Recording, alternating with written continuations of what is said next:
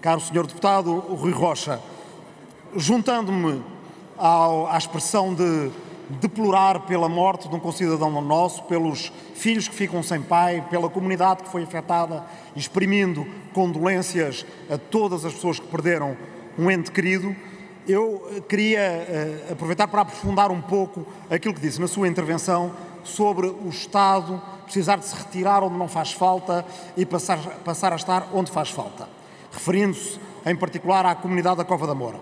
É uma comunidade que conheço particularmente bem. Eu fui professor na Cova da Moura muitos anos, dei explicações lá. A última vez que encontrei uma aluna que foi minha aluna na Associação Moinho da Juventude foi aqui nesta Assembleia da República.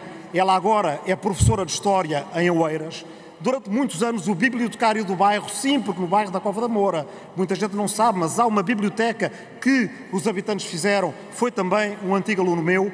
Eu sei que na Cova da Moura moram pessoas que, como nós, querem o melhor para os seus filhos, que trabalham, muitas vezes muito, que estão numa comunidade na qual muito falta da parte do Estado.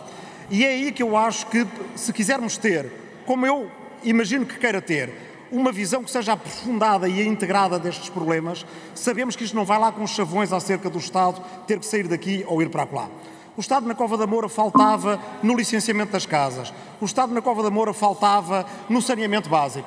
O Estado na Cova da Moura faltava em tantos aspectos de acompanhamento dos alunos. O Estado na Cova da Moura não tinha uma escola, mas a polícia sempre entrou na Cova da Moura.